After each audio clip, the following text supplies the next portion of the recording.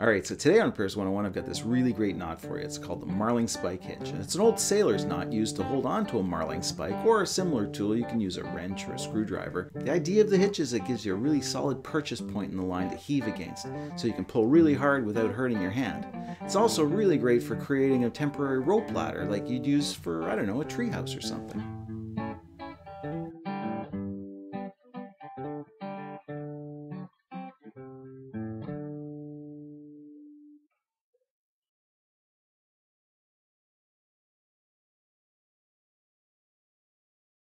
So, you know, I always pronounced it marlin spike because I thought it was in reference to a marlin fish's spear. But it turns out that the marlin spear is actually named in reference to the marlin spike.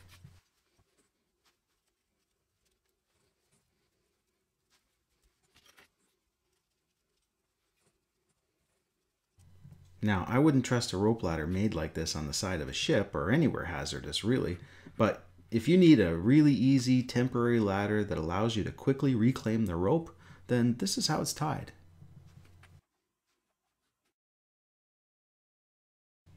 Alright, here's what I was talking about. You know, you need to pull tight on a light line and it cuts right into your hand.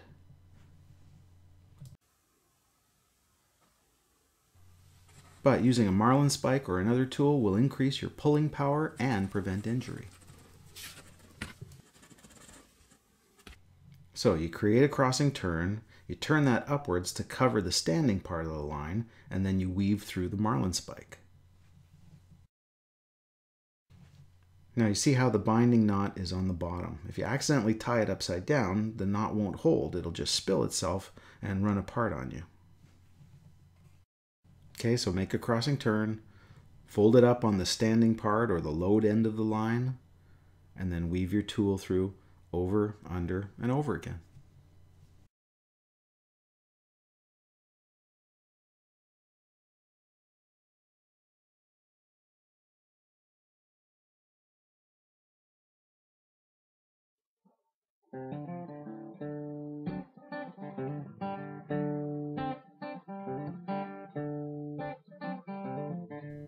So you create a crossing turn, you turn it upwards to cover the standing part of the line, that's the line that's loaded up, and then you weave the marlin spike through.